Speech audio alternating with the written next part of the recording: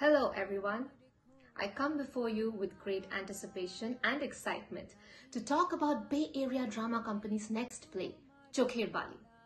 Chokher Bali was written by Nobel laureate Rabindranath Tagore, and in true Tagorean style, he mirrors the intricacies of the human mind and its complexities. Chokher Bali is a Bengali term. It means a grain of sand that's stuck in your eye, or an eyesore. Quite a unique name for a play, wouldn't you say? But maybe quite an apt one, because it reflects the sentiments of the society towards widows in the late 19th century Bengal. At the heart of the narrative, we have the character of Binodini.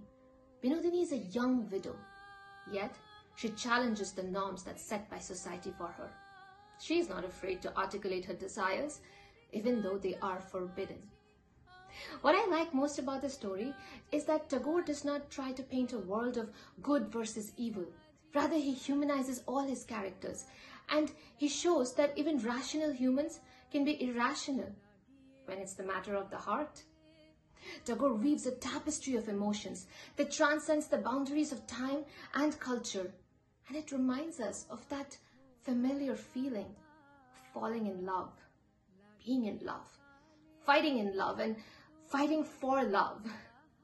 And which one of us don't like a good love story? The holiday season is upon us, and tickets to a heartwarming love story would make a great gift, won't you say?